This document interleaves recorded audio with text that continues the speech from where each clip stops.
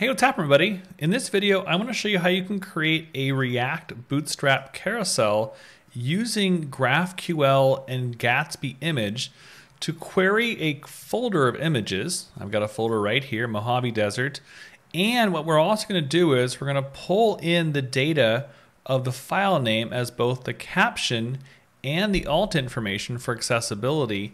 And we're going to use the power of GraphQL to automatically size. If we look at this picture, it's not the same size. It's a little bit wider and a little bit shorter. We're going to leverage the power of GraphQL to make every picture the exact same size in our carousel to make it look flawless. And once again, pull the caption down below via the file name over here. So if I change the file name on this side, it'll then change the file name and the caption down below along with the alt. And we're getting started right now.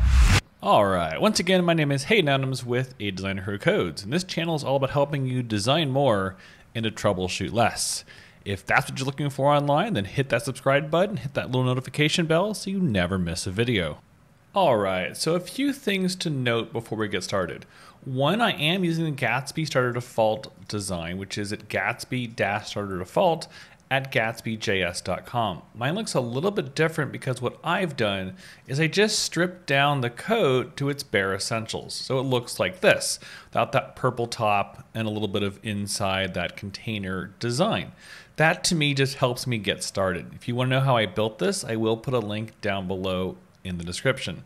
I have also gone ahead previously and installed React Bootstrap, which you can find at react.bootstrap.github.io. Again, if you want to know how to install React Bootstrap, I have a link down below in the description. So I'm starting with a fairly blank canvas with a couple things previously installed. So the first step I have to do is organize my files because I'm going to query this folder of information. I'm using the Gatsby default starter, so what you will find is your typical config, nodes, your packages, your node modules, and inside the source folder, inside my images, and what I also did, I forgot one more thing, is I did create a CSS file and called it custom CSS. So I do start with a blank CSS file.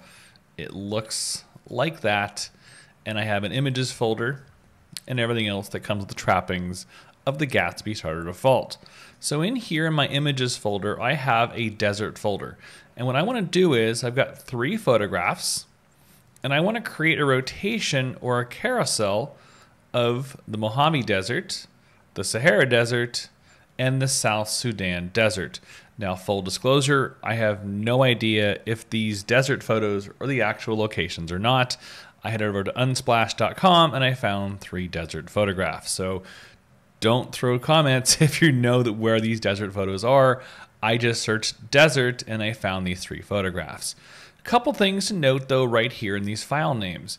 Note that in this case, I do have uppercase letters. I'm a big proponent of keeping everything lowercase, but in this case, we're gonna leverage the power of these file names. So I have Mojave-Desert, Sahara-Desert, and South Sudan Desert here to query that information. We're gonna use these file names as alt information and captions within our carousel. So the naming of the files from the very beginning is important. Now that we have the files in place, let's fire up Gatsby and go into GraphQL because I want to make sure I can query the information first before I come into my index page and write a query there. So let's bring over the terminal, or in this case, I'm using iTerm2 on the Mac. And I'm going to say, in this case, Gatsby, develop, and fire up this website. And in theory, this of course will fall apart until it actually runs. There we go, perfect. Localhost 8000, localhost 8000. So in my localhost 8000, the GraphiQL, let me close out in a different window here because I'm not using this one. Maybe one more second, perfect. All right, so let's do this and move some files around since I'm in Safari. So we have GraphiQL. So what I want to do is I want to first query this folder of images to then make sure I can pull it successfully into GraphQL. I always start with GraphQL because if it doesn't work here, it will definitely not work here. But if it does work in GraphQL, then I know that only my error messages are from me copying and pasting in the wrong way inside my JSX file. So within GraphQL, what I want to go to is all file. Now, the great part about using this starter template, just to kind of go back one step, is if I head back into my Gatsby config, what I like about the starter template is it's already built in to query the images. So already inside my Gatsby config, we have the Gatsby source file system already pointing to the images using the directory name, the source, and the images. So knowing that, I can jump right away into GraphQL by pulling the information out of the images folder. So if we head back to GraphQL one more time, what I do want to do is not all Buzzsprout episodes. Thank you. That is not what I am looking for. Let me close that piece.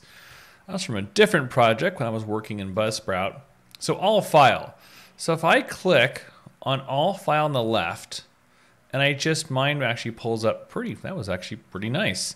So it jumped right into the ID where it went all file, edges, node, okay, go away, and ID. And now we have the IDs. Well, that's great, but let's actually pull the information of the actual picture. I'm going to click on relative path, and now it shows me Gatsby icon, Gatsby astronaut. Notice the relative path now has desert, desert, and desert. So the path is important, but if we take it one level deeper, what I'm looking for is the relative directory. Because what I want to do is I want to query, notice now what happens. There's no relative directory for those base files, Gatsby icon and Gatsby astronaut, but there is a relative directory for desert, desert, and desert. I can pull the information right here by filtering the information when it comes to relative directory. So now that we see the relative directory, let's filter out the astronaut and the Gatsby icon by heading up to the top. And what I'm gonna do is I'm gonna say filter. And in the filter area, I'm looking for the relative directory. So if I scroll down on my page, there we go, relative directory is going to equal desert. And now when I filter it, check it out. Now I'm down to three. Now there is one more piece I have to put in, and that's the regex, where I have to do a little extra fine because when we actually query it, it has to know what kind of file type to pull the information from in order to put the folder or the files in properly. So I'm looking for extension because I'm going to filter even further the specific file names. And in this case, all we have are JPEGs, so I have to worry about PNGs, but I will write them in in case I were to bring them in down the road. So under extension, what I'm going to say is, in this case, equal to slash, where'd it go? And then in parentheses, JPG, end parentheses, vertical line, parentheses, PNG, and then vertical line, we'll add the JPEG in case one time I forget to bring in just the three letters and bring in the four letters. And after that, I'll put, put a slash to say extension equals JPG, PNG, and JPEG. And now I did something wrong. And I did find what I was doing wrong. I didn't need to have the equals, but I need to find the regular expression or the regex down below. The good part is I know I typed this in the right way. The bad news is it's not equals, so I'm to undo that and come down to regex and paste it in. And there we go. Now magic can happen. Once again, I'm always going to spend time in GraphQL first to make sure these pictures are working properly because once I can filter, sort, do everything here in GraphQL, I can copy this information and bring it right into my index file. So I have the regex through extensions set up properly, which is slash parentheses JPEG vertical PNG JPEG GPEG slash. That's great. But I also want to do is I want to sort these by alphabetical. I'm not so worried about Mojave coming up first or last, but I just think about if the folder I have here under images and desert isn't alphabetical. I want to still go in that same direction. So what I'm going to do is I then want to sort by a specific field and then also go in either ascending or descending direction. So all I have to do is I have to find the sort, which is right down here in GraphQL. So sort says which do you want to sort by? And I'm going, I want relative path to search by. So the fields, this case I'll type in relative, well directory will work, but I have to find the relative path. The fun part is I have to go find it. So if I type in relative path, nope, still didn't find it. Oh, I found it. There it is. It's just the second from the top, and I went go searching for it. This is mostly in alphabetical order, but it's not in perfect alphabetical order. So I'm looking for relative path because to me, that's going to be in alphabetical order. Dessert is always going to be the first word, but Mojave is then going to be, or South Sudan will be the letters I'm looking for. So if I say relative path, and in order, I'm going to say descending, now what's going to happen is, actually I want ascending. I take that back. Now Mojave Desert, Sahara, and South Sudan are all arranged in alphabetical order ascending from relative path. If I want to go Z to A, then I can say descending. And now South Sudan is first, Sahara is second, and Mojave is third. This will help me arrange the files inside my carousel moving forward. I can't manually move them around. I'd have to go one of two ways, either ascending or descending and the relative path. Cool. So far, so good. So awesome. I can pull the information. What I next want to do is I now want to run the Gatsby image inside GraphQL to make sure I know that these files are pulling properly. So for Gatsby image to actually work, I have to go find the child image sharp inside of those nodes.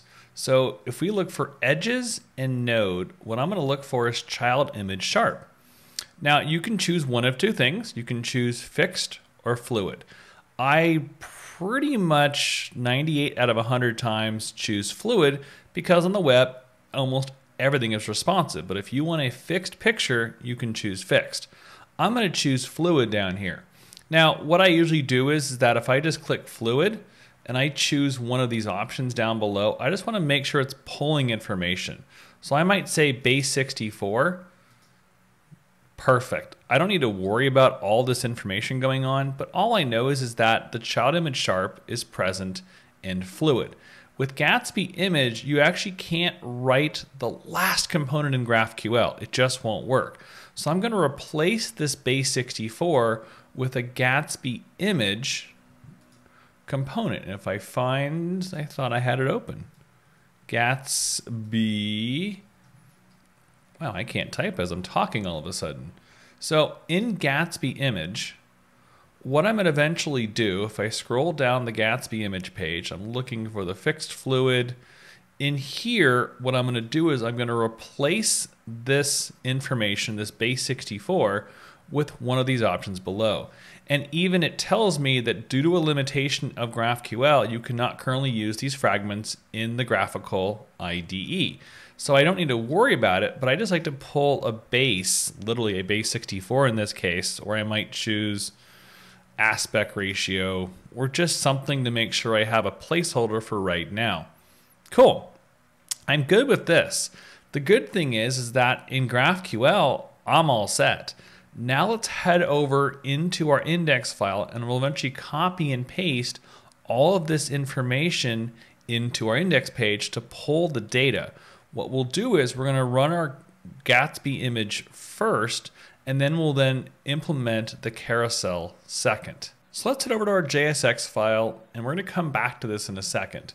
So inside, and what I also will do is make sure you have a terminal that you can see because this will start giving you error messages pretty soon if you mess up on a certain component. I only have so much real estate on my screen, so at times eh, I could put it over here at least to see success or error.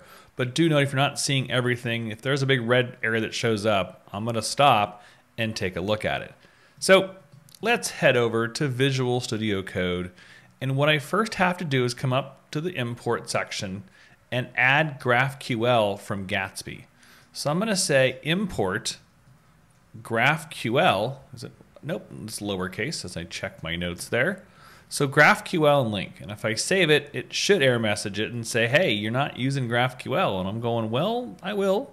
Hang tight. I'm getting there. So what I have to do is, is I have to create a query.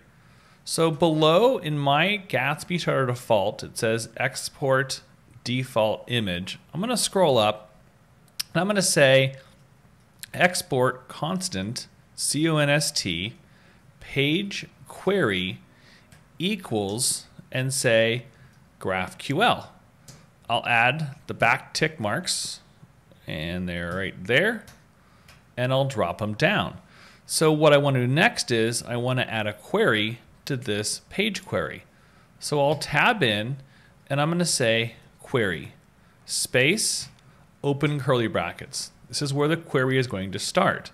So what is this? This is going to be desert photos. Cool. Space, or sorry, colon space. And now that I have that set up, the great part about this is I'm going to head right back to GraphQL and I'm going to copy all file down to the second to last. Don't forget that the top curly bracket and the bottom ones you're not going to copy. So now you know this is working successfully, I can bring it in. So I'm going to copy it.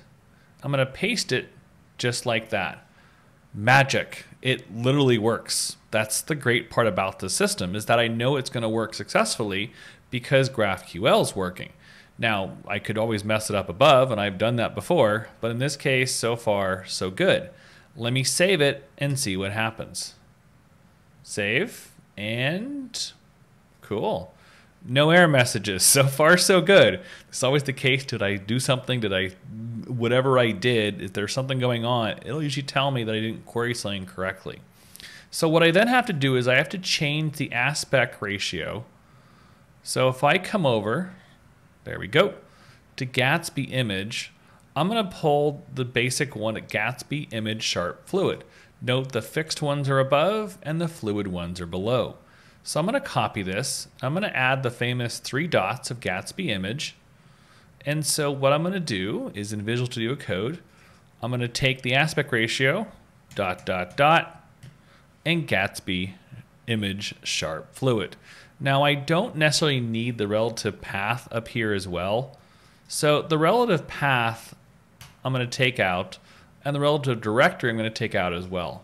What I need for right now are the ID and the child image sharp and fluid.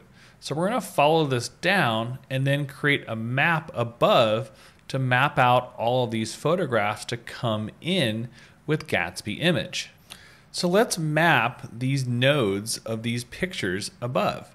So if I scroll up to the top, what I want to do is after const index page, I'm going to add data. I'm going to pull data from down below. And what I also need to do is I have to pull in the Gatsby image above to make it work. So I'm going to say import img from Gatsby, not equal sign. Did I spell it right? Yep, Gatsby image. Oh, obviously frumt is not going to work. I'm like, why is it not working? From Gatsby image. Visual Studio Code is so good. If you start to make a mistake, it's almost going to notify you before you realize it. And I couldn't type in image, so it didn't work. Perfect. So we're going to use capital IMG for Gatsby image. So we have data and the image. So Mr. Spaceman, you're going away. I'm sorry to tell you that. So in here, what I will do is I'm going to say the following. Data with curly brackets. So come on, if I can type it. There we go. Data, and in this case, we're going to pull the data from the desert photos. So I'll say date, data dot desert photos. I have a capital P for photos. I'm going to say edges and create a variable name for this. In this case, I'm mapping images. So I'm going to say lowercase image. So I'm going to say parentheses image in here. So notice how the map is yellow and image goes back to that light blue. So the image, I'm going to say equal sign, greater than symbol, and then open this up. And if I hit the return key, what you should eventually have are two closed parentheses and a curly bracket to close as well. I'll just create one space, not two. There we go. So what I'm to map? We're going to map the Gatsby image. So I'm to say less than sign img and then for this is now Gatsby image, I will close it just so I have an open and self-closing image tag. And I'll create some space for the image because I'm gonna probably gonna run out of room on this side right here. I'm gonna say fluid. If I can type properly in this case. So the Gatsby image is gonna say fluid and then equals, I'm gonna pick up where I left off. So I'm gonna say image is gonna relate to image above and then say node dot child image sharp dot fluid. Notice what happened. We went data from the top right here to pull data, desert photos, edges, node, child image sharp, and fluid. Or desert photos, edges, node, child image sharp, fluid. We skipped over the ID for a second. We're going to bring this in in one second though. So what I'm going to then do is then say alt desert photos. And since this is fluid, we're going to keep it fluid and we'll just self close. And if I save image, oh, that's because something up here was from the component in the image. So we'll just take it out because that's from the spaceman. Let's save and take a look and see if everything worked or everything didn't work. Check it out. Picture one, picture two, picture three. It successfully mapped out the photographs and put them here. So that's good, but I have to do a little touch up here and there. So what I also want to do is I need to add a key as well. So inside the image, I'm going to say image key equals, and then pull the ID to match the photograph. Since we already have the image, if we scroll down, I have to go from edges, node to ID. So we've already got the edges. I'm going to say image, node, ID. Once again, this just connects the picture with identification or the ID of the node. So it's not going to do much. You won't see anything different. It's just to help it be semantic in the design. Now here's the thing the alt information is there, but it's not there. That's because all three photographs have alt. Remember when I went back to my original file names and I said capital Mojave, capital desert, capital Sahara, capital desert, South Sudan desert. We can turn the alt information into, in, we can turn the file names into alt information. Let me say that one more time a little better. So what I'm gonna do is I want to change the alt not to all three be the same, but to all three be different. So when I'm pulling new information, it's back to GraphQL I go. I'm gonna head over to Safari, and what I'm looking for inside of GraphQL is a base. And if we click on base, hope this is the right one, yeah, base down below, and we can, for right now, I'm gonna not show the child image sharp because it's gonna show all the information again. So notice now that the base pulls the file name of the file. So Mojave Desert, Sahara Desert, and South Sudan Desert. Cool. Now we can pull the base information for the alt information of each photograph. So we're going to take base and head over to my Visual Studio Code, and I'm going to add base right here because it's inside of the node just on my GraphiQL version, it was down below. And in this version, I'm putting it right after the ID. So the base is going to be the information I'm going to pull from. So I'm going to then go up to the top and change the alt not from desert photos, but I'm going to say image.node.base. Now if I save it, maybe success will surely happen. Perfect, looking good. Now what I should see is all the pictures all over again, But if I go into my inspect, what I'm looking for is that the alt is present. But it's not perfectly present. It's kind of present. An alt for a screen reader would say Sahara-desert.jpg. I want this to just say Sahara Desert and not JPG. The good thing is we can use all of our code to pull information and pull out the dashes and take out the extension with the base. So let's go into our code and change the base structure. So in the alt information, it's pulling image.node.base. The base is the containment of the file name. So here's some magic that we can accomplish. What I'm going to say is, I'm going to say dot split. Split this apart basically, and split it based upon the dashes. So I'm going to say split parentheses, and dash. From there, I'm going to do is I'm going to join it with empty spaces. So first split with the dash, and then join if I do parentheses, and then add a single quote and space. So I'm then taking out the dashes and joining with empty spaces. And then what I'm to do is, if I can type properly, I'm then going to say basically split again and say split one more time. This is a lot of splitting, but then split based upon the period. And then after that, take out the extension by saying solid brackets and saying zero. So what that's going to do is it's going to split it apart, then split it one more time based upon the period, only show the first part. So what if I say save? And I did something wrong. What did I do? Oh, I know what I did. That's what's going on. The dash doesn't have the quotes around it, so it's not going to work. So I have to put the quotes or the single quotes around the dash. And I did something else is wrong. Oh, again, I did it at the same time as well. This one works, and that one now works, but this one didn't. What I love about also, I'm stopping for a quick second, notice how it told me what's going on. So it's like, hey, you got an issue with this one right here, and then you have an issue with this period right here. So I have to then go back into here, add the single quotes, and save, and now we get success. To me, this terminal is just fantastic.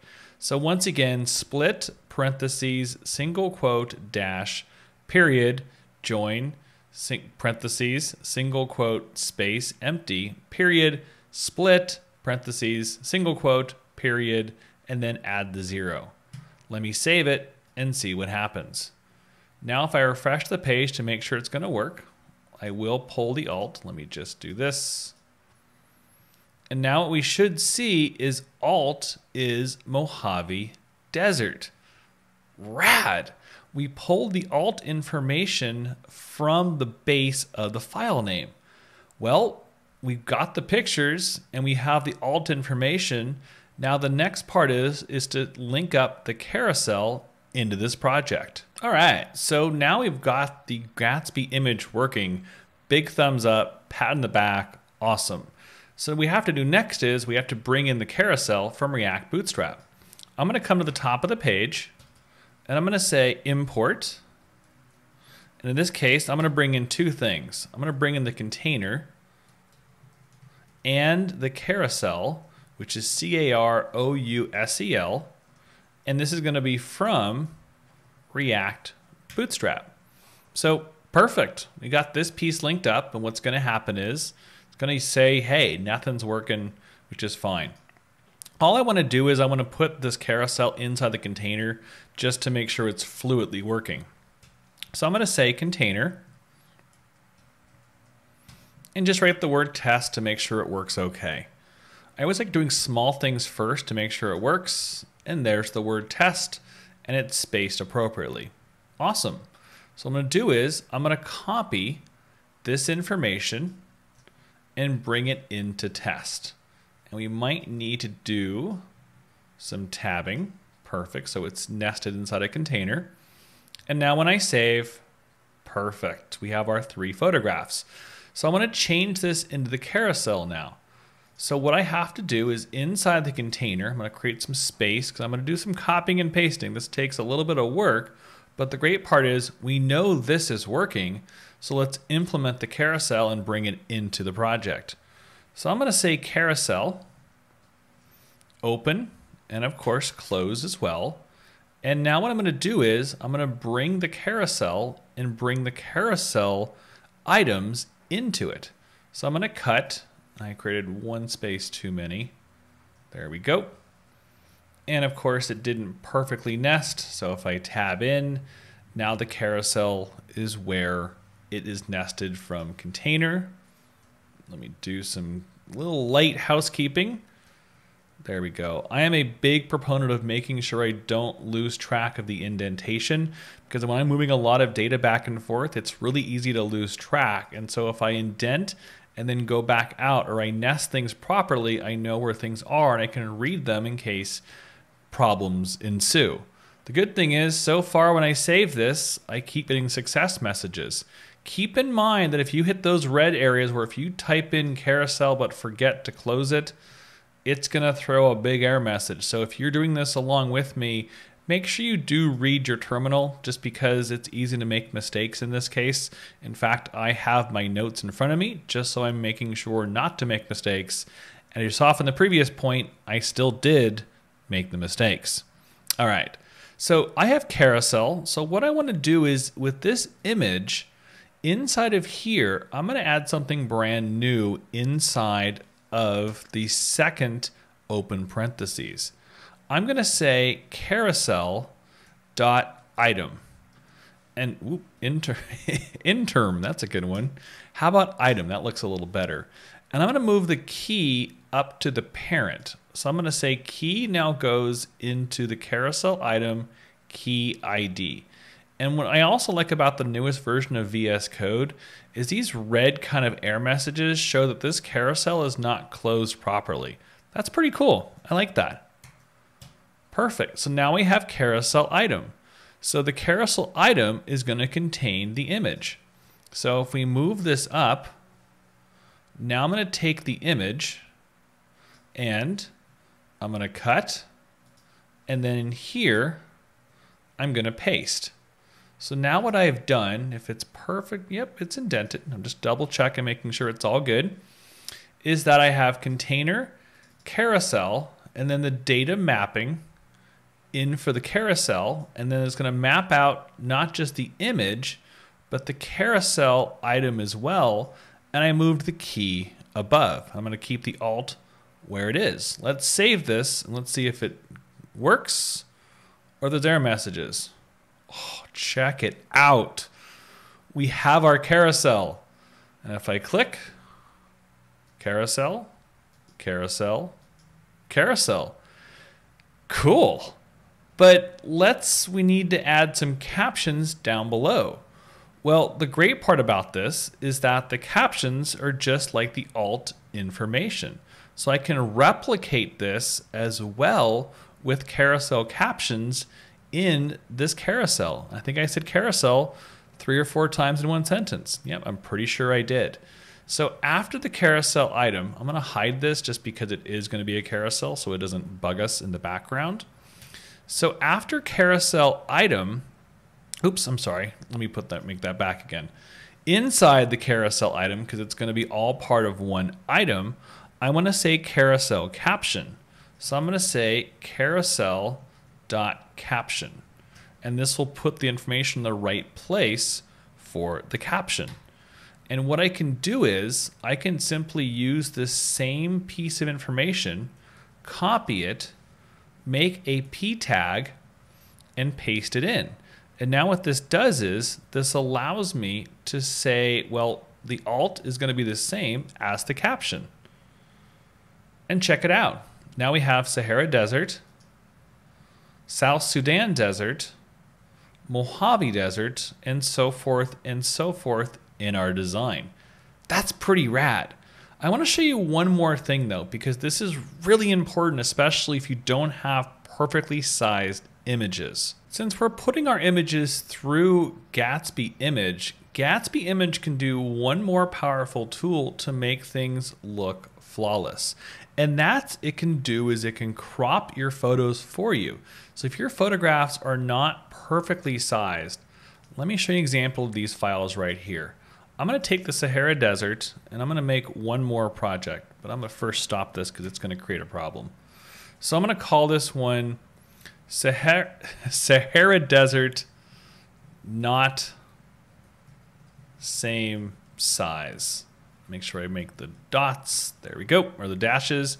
I'm going to go into Photoshop and I'm going to crop this so it's more of a square. And I want to show you why this is actually very important. So if I bring Photoshop over here, there's Photoshop, and there is my Sahara Desert, not same size.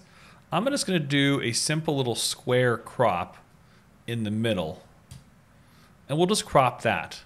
Actually, no, let's actually make it not perfectly square. We'll make it rectangular, but in this case, I'm just going to make it right about there.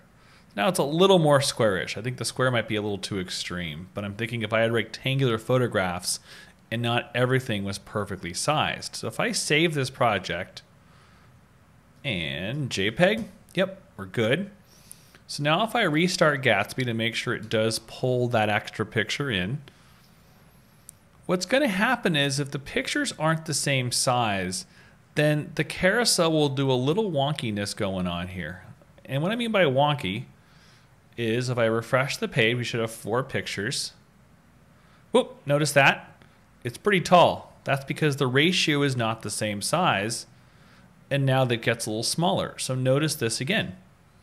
So the power of Gatsby Image is it can auto crop my pictures for me. So let's head over to GraphQL and do that. So if we head back and we can come down here, I'm just gonna write it manually for this case in this instance, what I can do is in this fluid, it can do a couple different things. So what I'm going to do is I'm going to add parentheses into fluid. And I'm going to say max width. And we are using camel case with the max width, so lowercase m, capital width. I'm going to say colon, and then I'm going to say, in this case, I will say 1200 for 1200 pixels. Now here's the thing. I think about the ratio of the picture, two by three, four by six, all of that.